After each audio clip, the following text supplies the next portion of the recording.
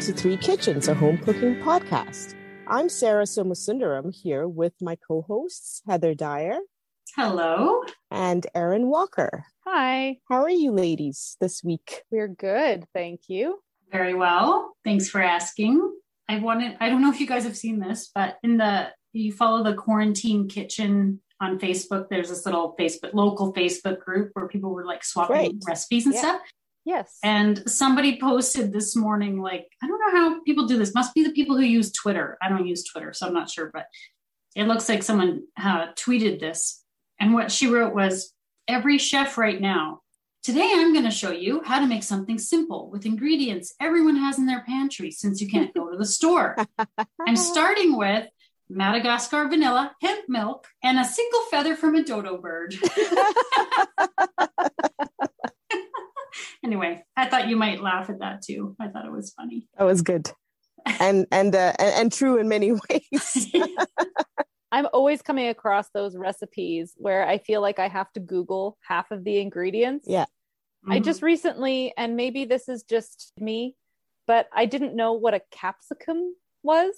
Oh, okay. And oh, I a, don't either. it's it's bell peppers. Yeah. Oh, yeah. Is it like one of those things where it's like a the Australian word versus the American word? Yeah. I think you're exactly right. Okay. Yeah. Capsicum. Okay. And I think it's it's also British because Singaporeans say capsicum. And oh. I'm from oh. I my parents are from Singapore. I lived there for a bit, so well, I'm glad I'm not the only one who had to Google it. Thank you, Heather. Yeah. Oh, count on me. Maybe we should be clearer, like at the beginning of this podcast. We are not professionally trained cooks. We are not professional cooks in any sense of the word, nor are we professional podcasters yet. Yet. what kind of professionals are we then? Uh, we get things done. I maybe we shouldn't go down that rabbit hole. That I'm not sure. okay, so Sarah is talking about bao. Tell us what a bao is, please. They're just buns that are steamed, and they usually have delicious bits of filling in it, like my favorite, char siu or barbecue pork, very sweet and savory. Now that all these various Asian foods and chefs have risen in popularity, I love seeing the new takes on what people are doing with traditional baos. And now there are things like bao sandwiches and bao burgers and oh. all sorts of fillings. So I have yeah. a question then. When yes. you say traditional bao, where is bao traditionally from? Oh, here, yeah. this is a conversation that I'm not sure that I am qualified to start because, you know, like many other foods, there will be a few countries that claim them, right? right. So yeah. um, I always grew up thinking they were Chinese. Okay. But then the Taiwanese have different characteristics to the bao, oh, right? Or fillings and such. Absolutely. And then um, you know, as I kept reading about baos, and the Mongolians have baos and the oh. Japanese have baos, and they might be called different things, but essentially Ooh, it is the steamed bun. There are things called fried baos. So this is making me think of dumplings. Yeah. Yeah. But it's bread. Instead of a dumpling dough, it's a bready dough. Yes, because it does have to rise. Oh, okay. Just like bread. Basically, instead of putting it in the oven and baking it, you steam it. Ah. And that's how it's cooked. Okay, I've been playing around with the bao recipe for a few months now. You guys know, always yes. talking to you about it. We hear about it. we we hear about it, but we haven't tasted it yet. Yes, yes. This is true. This is true. None of that cute bread has come our way. So, some of the recipes that I have come across just use yeast, never talk about baking powder. And then, of course, I keep looking just to complicate my life, and baking powder comes into play. So, do you use yeast and baking powder or are you using yeast or baking powder instead of one or the other? Because then you're changing it from a what i would call a quick bread to a yeast bread. Sorry what would be the quick, quick bread? With baking powder traditional old fashioned cookbooks call those quick breads. Because they rise quicker? Because they don't involve a rising. It's usually a wet batter that you pour into a pan. So like a muffin or a loaf is when i've used a baking powder, whereas yeast is always in something I need or it's something that sits overnight. So great points, things that I have been learning about. And so when I did try the baking powder, this is a good point uh, that you bring up, Erin, because I may have overproofed that one batch. Oh. And because maybe I think it rose a little too much. So you still let it proof? Yeah, I do. So maybe I shouldn't have. I loved that bao the best. So let me explain my little journey here. Take us away. I get completely sidetracked when I decide to delve into the bao world. And I'm going to blame Instagram for this. Uh, so thinking that it knows me so well and that algorithm took my life down. starts introducing me to these bao posts from uh, one woman named uh, Wang Meiji. And she not only makes these beautifully smooth, sort of squishy kind of baos, she shapes them into these things like dragons, cute characters, uh, she makes them look like potatoes, like it actually looks like a potato, and then you open it and it's, a, it's an actual steamed bun. Oh, it's like neat. those crazy cakes that look like a yeah. shoe, and then you cut into it, and it's a yeah. Cake. And she's quite well known, and she has a storefront in Taiwan or China, I can't remember. And then, and then she has this YouTube video on how to shape these like a simple little thing like clouds with a cute little face on it, and it, it it's absolutely smooth. You would never guess that it's a bun. Ah. So this has been your inspiration because we've seen some of the things that you've been making that are pretty cool little Totoro and right the ox for Year of the Ox and like little pigs and like adorable things. So it has been my inspiration because she said it was simple. I go out and you believed her.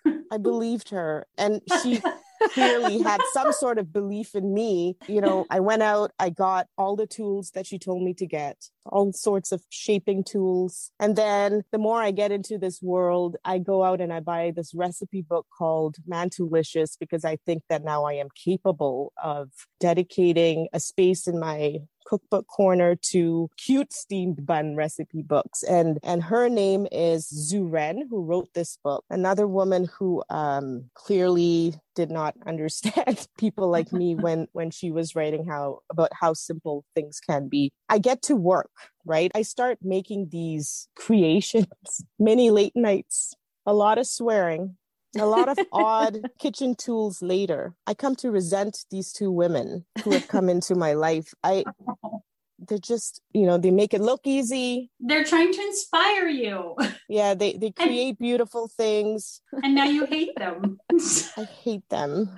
Oh my goodness. I'm just joking. I these women are amazing. I, I I'm kidding you know they clearly work very hard. You know they not only shape this but it's all about texture as well with the bao and you do have to check this out. Like i mean it, it's yes. beyond. Like mm-hmm. i cannot explain to you how amazing these creations are. I did create a few things that i'm i'm proud of as well a little bit proud of but my kids liked taking it for school lunches and and their friends commented on them what you create is is pretty darn amazing. Oh, thank pretty you. Pretty darn it really amazing. is. Yeah. yeah. How do you keep the dough from just kind of becoming a blob? Like, how do you keep those little fine little details? It's like stuck on, you mean? Yeah, like when you stick stuff on, how does it stay there and not just like like an ear becomes a blob on the face?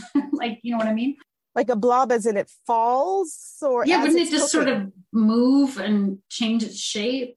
Or it hasn't happened to me yet. I mean, I use milk to stick it on. Oh. Uh, and a paintbrush, guys. I, I have paintbrushes now to paint yes. milk on. We've known about you and your food tweezers for a while now. we know. At least they were only food tweezers. Now I've got food tweezers. I've got food paintbrushes. I've got things that have really ruined my life. I'm just joking, guys. I, I love baos. I have just abandoned the cute stuff for now with all the experimenting I have done, Um, I think it is family consensus that the cake flour was the best. Ah. The problem with the cake flour that I find is it's so soft that to stuff it is a little bit of a challenge. Oh. So I'm going to try it again with a few things in mind for challenges. Um, the first thing is proofing. So my house during the winter is at a balmy 19 degrees Celsius. It's, uh, but it's, you know, cold for me and it's cold for the dough. So Mhm. I'm going to have to uh, figure out proofing time. And then one of my goals is making that bao as smooth as possible. I don't know if it actually does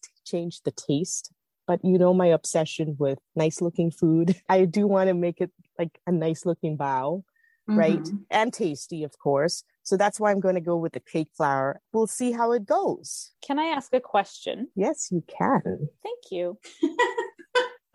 I love how she raises her hand too. Yeah. So when you steam the bun, is it evenly cooked all around? Whereas when you put a bun in the oven, it will brown on top. Sorry. I'm so mature. When you put a bun in the oven, I'm I sorry. heard bun in the oven. I'm sorry, guys. It should uh, evenly cook all around. Maybe the bottom part might be a little different okay. because it is on a parchment paper that gets put in the steamer.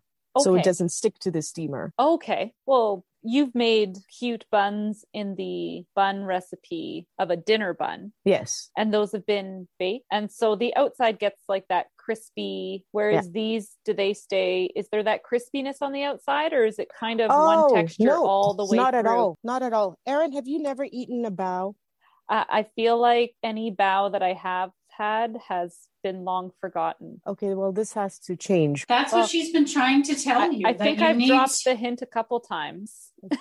yeah. I just I, I just feel like I, I I swore a lot while making those baos and I, I didn't want to I didn't want to share that negative energy with you. So I did with my family instead. Um These buns were made with hate. Here you go. anger. uh, I have enjoyed making the baos and just being a little bitter because because of what these women can create. it wasn't simple, was it? no, it was not simple. And so I think it will become a lot simpler if I just give up the cute stuff. You're just working on technique versus not doing anything fancy. I'm going to make a bao with cake flour. Okay. I am going to figure out whether I want to use baking powder or not. So th- these might be two batches. And then the third thing is, am I going to do a first rise before I shape them or shape them and then get them to rise? Ah. Oh. there is a difference and and i do also want to add that i have an interesting proofing trick that i came across so if it does work for me it will work for you no matter what the temperature of your house is so let me test it out and Aha. if i'm successful You're just going to drop it off at my doorstep, right? yeah that, that too we're going to stay off the cute for now and we're going to get right into the bao Oh. Okay. Well, I'm off to the test kitchen. Join us in a moment to find out if this turns out to be a bow chicka bow wow or a bow bow bow. Want to join me down the rabbit hole? Check out these impressive women and their bao creations on Instagram. Zuran underscore man2 and Wang Meiji Buns. Welcome back to Three Kitchens. We're about to find out how Sarah's bao turned out. So I think they turned out good. My family, who has eaten many a bao, thought they were good too, but of course they had some critiques. So on the last batch, I think I satisfied everyone's idea of a good bao. I'm going to post a recipe from Wang Meiji's YouTube instructional video for everyone. It is in Mandarin, but it is Okay. it's got subtitles Okay. to just to get started with the ingredients because they're smaller batches Okay. right? And there are Mhm. many good recipes out there. But here are my takes from my test kitchen with the bao and the critiques from the family. Did I tell you about my family criticizing me and my food? When is family not criticizing our food? so I did not use baking powder. Oh. I didn't bother about it. So, Erin, remember that little spiel you had about when baking powder comes into your recipes that you have come across? Yes. I read up a little bit about it and I, I took it right out of the equation. There was Oh. no reason for baking powder. Interesting. My ideas may change as I keep playing around with bao recipes, but I made it with the cake flour. We all knew that, right? And then I kneaded it in my stand mixer until I got an ultra, ultra smooth dough. That is key. It looks like a Yeah. beautiful cloud. And how long did that take? About 10 minutes. Okay. That seems pretty typical for a dough. Mhm. Very, like, very smooth, nice. Like, you almost want to play with it. You don't want to eat it. But Clearly.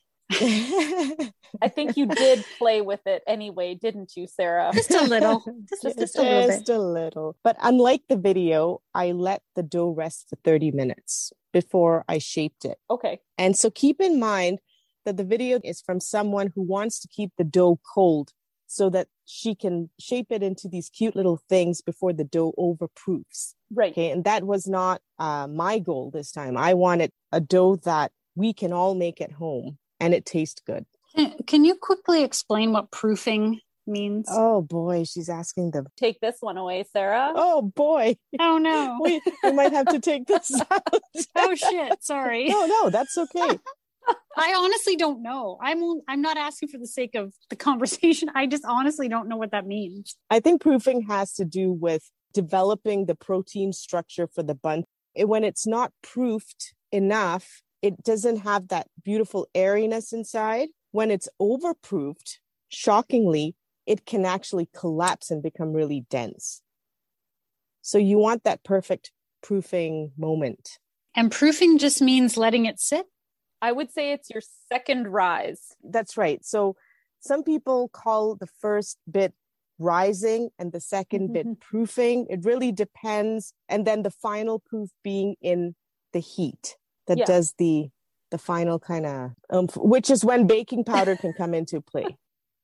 So Yes. I find I'm an underproofer Ah, okay. because I get impatient and we have cold homes. Mm-hmm. so I did the 30 minutes of of rest. Okay. I rolled the dough out with my hands into this long, thin log to get Okay. rid of all the bubbles. This Okay. is really important with bao, and you have to do this three times. And then after that, I weighed the dough out because I need everything to be the same size. I'm just that person. I rolled them into balls, I flattened them with the edges thinner than the middle. I stuffed them, I put them aside on parchment paper, and I let them proof. Okay. So this was always my issue. Just like you were saying, uh, Erin, proofing hmm can be a hard thing depending on each each one's uh, house, the temperature, different kinds of dough, Yeah. right? And uh, so this is how you know bao is proofed to the point that you want it to be. It should be about one and a half times the original size. Okay. The other is using that touch method. When you gently press down on a bao, if it's a slow spring back, you're good to go. That's a good proof. If it springs back quickly, then it's not proofed enough. Okay. And if it stays indented, you're kind of shit out of luck, right? With the dough. It's too long. Yeah, you've you've Ah. overproofed it. Right. I learned this hack from the Mantelicious book that I bought. And so I got an old cylindrical prescription bottle that I don't use anymore. And I marked two markings. One was a centimeter from the bottom, and one was 1.5 centimeters from the bottom. And after I stuffed the first bun, I took some dough, I filled it up to the centimeter mark, and I closed the lid. And I waited for that dough to rise to the 1.5 centimeter mark. Oh, smart. Oh. And then I tested it out with my the batch that I had Mhm. and and I did the touch test and it was pretty much accurate. Ooh, so you have like a control test. It's a control, yeah, ah, that's smart. right? So try that out at home. I think uh I think it'll work for any any dough that needs to proof. Totally. So the issues I had with this first batch was that my family prefers a thinner dough to the traditional bao. They like more filling and less of the bread, I guess. Okay. right? And secondly, I didn't know how to, while I was making this bao, I didn't know how to encourage someone who gets, you know, a little bit freaked out about how do I fold a bao? This is like so ah daunting. And I decided that I was going to make another batch because of my family that you know oh it's too thick. The dough's too thick. So i tried it i, I did a another batch with a thinner dough. I was kind of inspired by all these new shapes of baos and all these new things that people do with baos and i thought i would fill it up in a different way. Okay. so I did the exact same thing. I made the dough the exact same way. I let it rest for 30 minutes. I rolled out the bubbles after. But now, instead of weighing out the dough into little pieces, I took a rolling pin. I rolled out the entire thing into a sheet that was Okay. about 0.5 centimeters in thickness. I took a cookie cutter, a round cookie cutter. I made little circles. I took one circle. I put the filling in the middle of that circle. Don't Okay. take it too close to the edge, otherwise it won't seal. I took Mhm. another circle. I put it on top. I added some milk to the the edges, Mhm. and then I pressed it down to seal the edges around. Mhm. That was the fastest bao I've ever made. My family loved the Oh. taste. Yeah. There was so much time left for proofing that I may have made some faces. When did you put the faces on? Before you let it sit or after?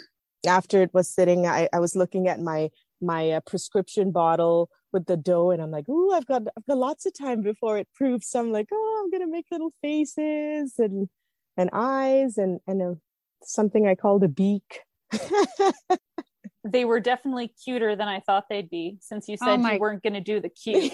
but, so cute. but I didn't do it at the expense of the proofing time. So Ah. so that was I kept to Oh. that promise. So that's what gets in your way. You get so caught up I in do. the cuteness that you I overproof.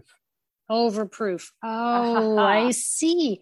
You know, Yeah. Erin and I were just talking and we mm-hmm. were speculating how do those little bits, the faces, the ears, the beak, whatever, stay on there? Like it is not moving around, it's not budging, it's not like melting looking like you can't peel any of the pieces off. They're No. perfectly on there, but there's still a ridge. It's amazing how how perfect the decorating parts are. the little Yeah. bear mouth under the nose and like just like So you have to remember that the difference is it doesn't rise as much. So the shape's not really changing that much.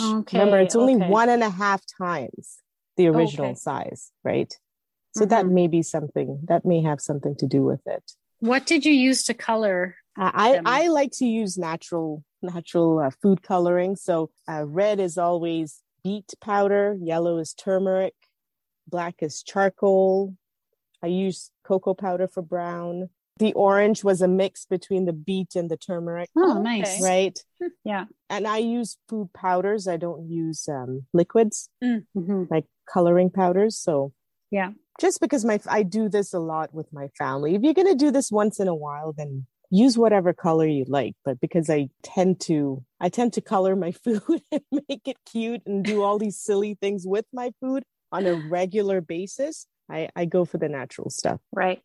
Yeah. You wouldn't even know though. It, it looks so good. Oh, good, good, Mhm. good. The colors are just as bright and vibrant as anything that I've ever artificially colored. So Yes. Oh, good. sometimes I'm under the perception that using a natural food color will make it it'll be washed out looking or it won't be as vibrant and strong and Yeah. not at all in these. So, what did you guys think? I I did uh, drop a couple of samples off with both of you. Yes, finally.